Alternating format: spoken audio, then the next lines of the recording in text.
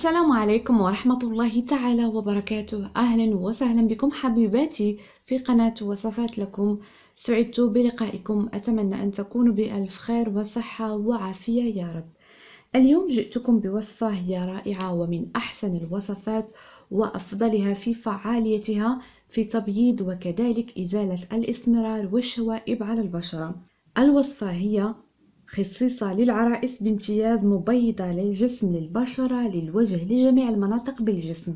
سنحتاج فيها إلى النشا. كما تلاحظون هنا لدينا النشا أو ما يسمى بالمايزنة أو نشا الذرة. هذا المكون يعتبر مكون مفيد مبيض للبشرة والركب القدمين يعني أي منطقة كما قلت في الجسم فيها سواد أو إسمرار. كذلك هنا حبيباتي سوف نحتاج إلى زيت اللوز الحلو.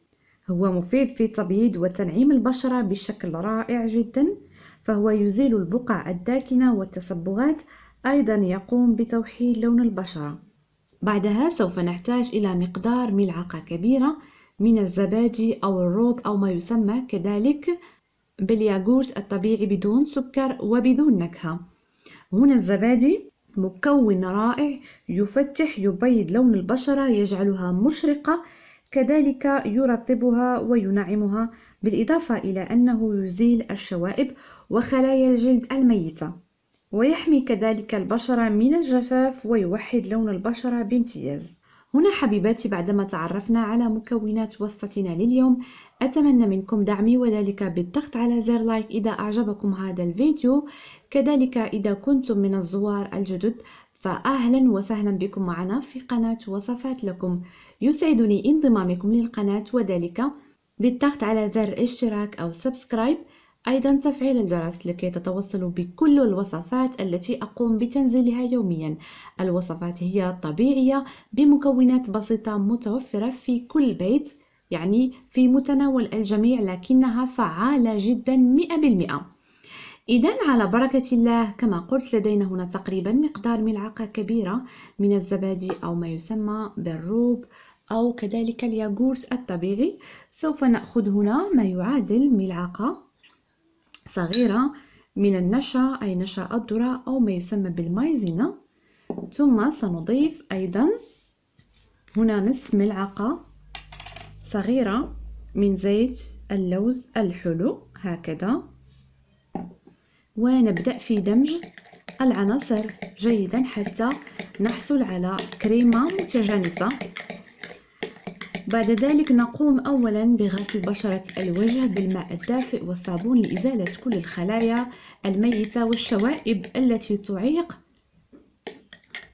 نجاح الوصفات الطبيعية. أو من الأحسن يعني قبل تطبيقكم لأي وصفة مبيضة عمل مقشر للبشرة. يكون أفضل وتعطيكم الوصفات هنا نتائج جيدة. كما قلت بعد إزالة أو بعد غسل البشرة بالماء الدافئ والصابون إذا كما قلت بعدما نقوم بغسل البشرة جيدا بالماء الدافئ نجففها بعد ذلك نطبق هذه الوصفة على البشرة بحركات دائرية حتى تتغلغل لنا الوصفة داخل البشرة سواء على بشرة اليدين أو بشرة الوجه أو الرقبة. هنا إذا كنتم تودون وضع هذه الوصفة على بشرة الوجه ضروري جدا أن نقوم بوضعها على الرقبة لكي نحصل على لون موحد بين بشرة الوجه وبشرة الرقبة. هذه الوصفة تداومون عليها يوميا إن شاء الله حتى تتخلصون من كل المشاكل من اسمرار بقع داكنة تصبغات أو آثار الشمس. إن شاء الله الوصفة أيضا هي تعالج حتى التجاعيد تداومون عليها إلى أن تحصلوا على النتائج المرغوبة. إذا حبيباتي كما رأيتم كل المكونات بسيطة متوفرة في كل بيت وفي المتناول. أتمنى أن تجربوا هذه الوصفة إذن وأن تتركوا لي آراءكم وتعليقاتكم عنها وعن فوائدها لكم. إذا أتمنى أن أكون حبيباتي عند حسن ظنكم وأتمنى إذا أعجبكم هذا الفيديو لا تنسوا وضع لايك كذلك مشاركته مع الأصدقاء لتعم الفائدة.